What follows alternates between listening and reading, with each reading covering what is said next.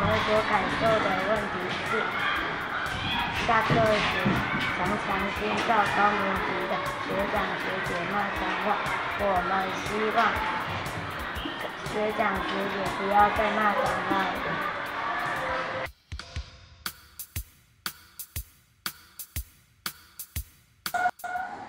我们所想象出来可能解决的方法有：去劝告学长、学姐或学姐。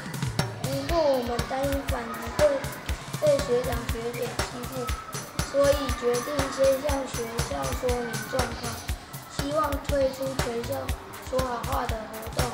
另外，我们也制作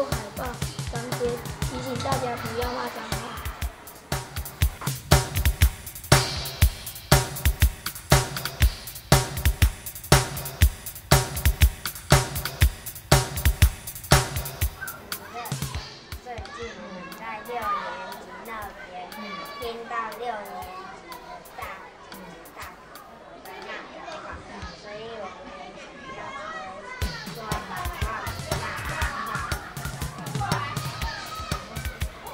对，谢谢各位小朋友的发现，这是我们校园的问题。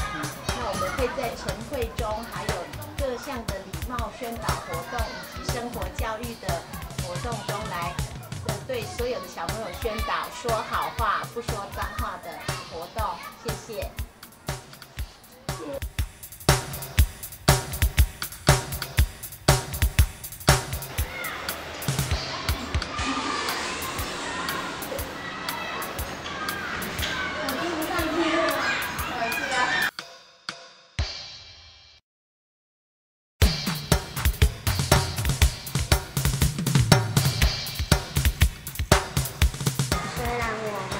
第一次进行 DSC 这一项活动之后，还是会听到六年级的大哥的骂脏话。不过我觉得这项活动很有意义。